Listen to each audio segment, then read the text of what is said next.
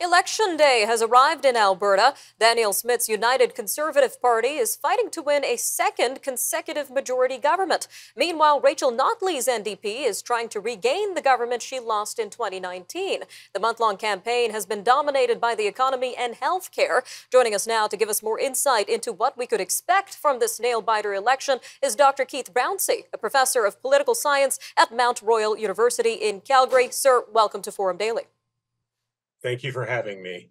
So this is a quite the tight race here between two candidates who have both been premier and leader of the opposition in Alberta. So where do Albertans stand when it comes to the two main parties here?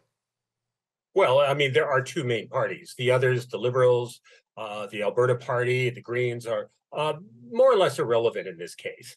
So we, it's going to come down to uh, the two parties, uh, a party of the center left and a party of the far right. The far right being the United Conservative Party. And now, uh, we know the economy and healthcare continue to be top issues for both parties here. So uh, let's start with these issues. Let's start with the economy, including inflation and the rising cost of living. How are both leaders promising to tackle this major issue? Well, I mean, the United Conservative Party has handed out to some people in the province $100 a month to uh, for the last uh, few months to offset the high cost of uh, living uh, and our our rate of to offset inflation.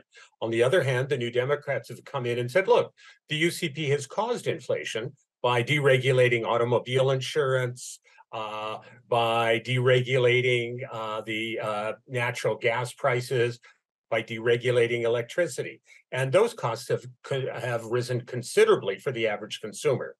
So it both have different ways of pursuing this: a direct subsidy from the UCP and um, an indirect kind of uh, regulatory fix from the New Democrats.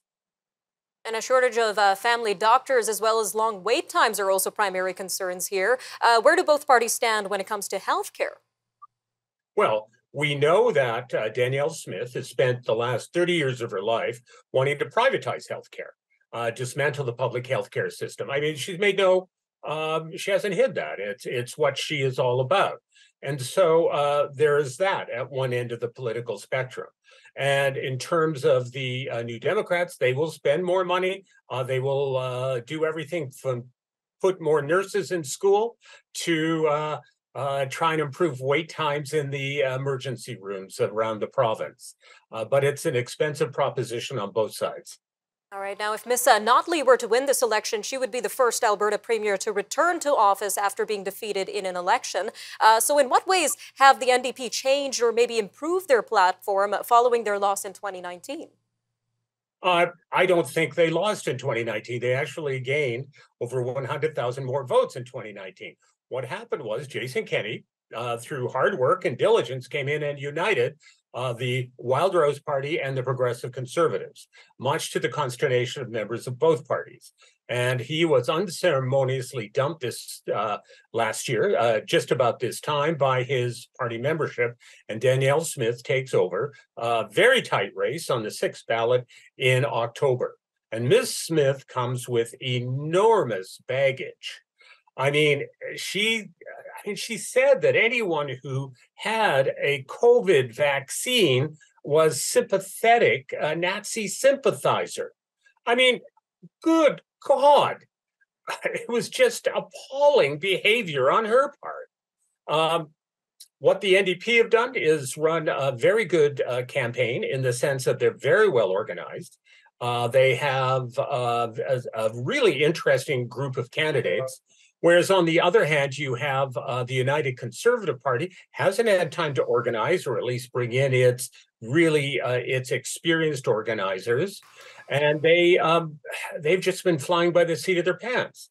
If they win, well, that's what Alberta wants. If they don't, well, we'll have to see what uh, what happens with the New Democrats. We'll have to see for sure. Now, uh, just a quick 30 seconds left here, Dr. Brownsey, but uh, what will you be keeping your eyes on uh, amid this election, especially in the key battleground region of Calgary? Well, I uh, I think it'll be a tight election. Uh, you need uh, 44 seats to win, and I think both parties are quite capable of getting those 44 seats.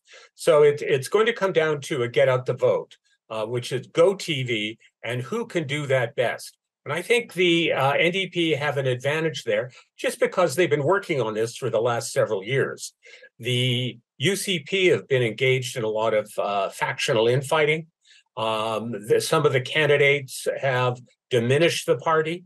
And uh, Danielle Smith is not popular with many in the UCP on the conservative end of the political spectrum in Alberta.